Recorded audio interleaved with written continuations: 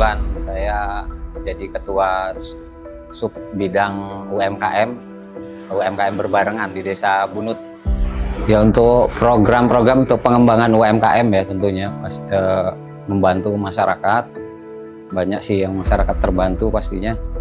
Ya untuk manfaatnya alhamdulillah sih ya semakin ke sini yang kita rasakan tuh ada pertumbuhan ekonomi yang terus berjalan.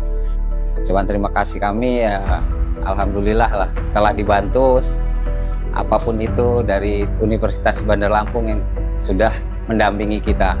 Terima kasih untuk Universitas Bandar Lampung atas segala bantuan, bimbingannya, juga untuk peningkatan UP2K di desa kami, terutama dari perizinan sampai sertifikat halal, alhamdulillah sudah ini sudah kami terima. Mudah-mudahan ke depannya uh, eh, UP2 kami, UMKM kami bisa lebih maju lagi.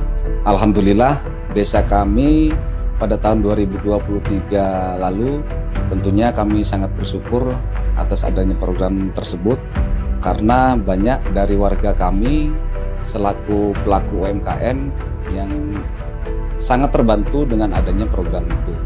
Dan kami juga berterima kasih kepada pihak UBL yang sudah mendampingi kami karena tanpa pendampingan dari UBL eh, saya rasa program ini tidak akan maksimal seperti sekarang ini.